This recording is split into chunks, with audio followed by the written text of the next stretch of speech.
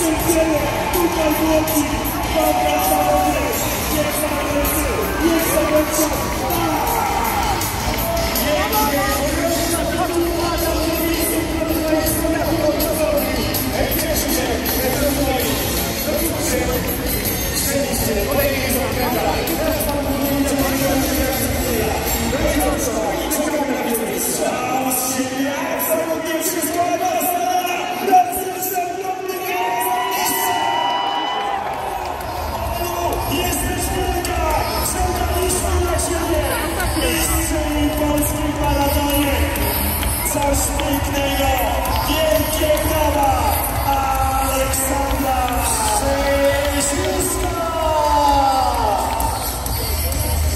Coś fenomenalnego! Gratulacje, uściski, ojaska!